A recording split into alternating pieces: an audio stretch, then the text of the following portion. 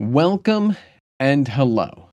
Let's talk the news. Today is June 22nd, 2024. Today marks the day.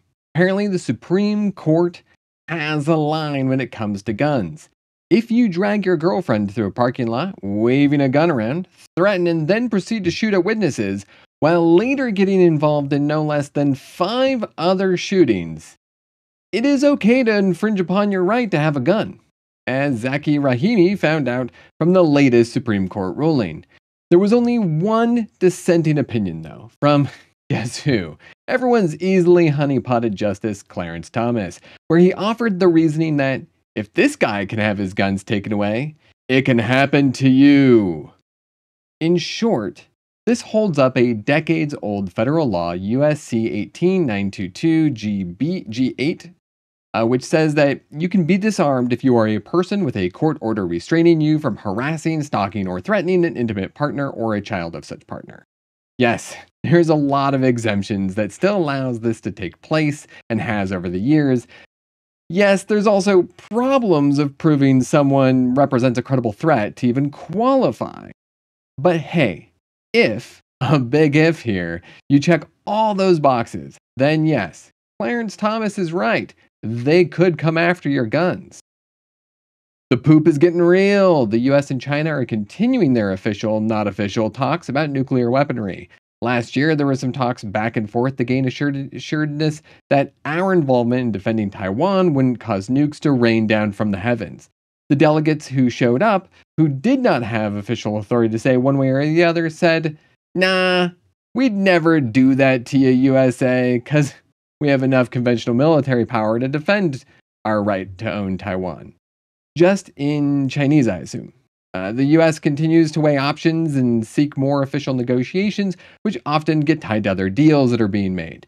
These talks were going pretty smoothly until 2019, when Trump's administration pulled out of them and defunded the Track 2 talks, which get these dialogues going. More talks are planned for next year, and if it helps, China still only has about one tenth of the number of warheads as the United States. And by far, Russia is still super high on that list as well, in fact, more than us. As a consolation prize, it only costs us about $75 billion per year to maintain our nuclear force. Basically, chump change. Am I right? Last on the list, everyone's favorite polling. A new Fox News poll suggested that Biden was two points higher than Trump, People on both sides are going crazy over these two points, not the least of which is Donald Trump bemoaning in it being incorrect, while liberals were preemptively celebrating this as a turning of the tide. Both responses are just ridiculous. It's one poll, within two points of another, with a margin of error of plus or minus 3%, making this a non starter problem.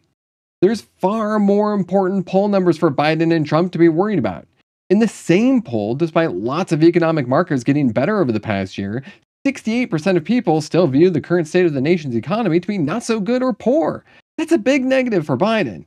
For Trump, Nikki Haley has been out of the race for months, and she was still taking 20 to 25% of primaries. Even after endorsing Trump, she was pulling 10%, and in some cases more. This should be seen as a protest vote that certainly will not help Trump on November 5th.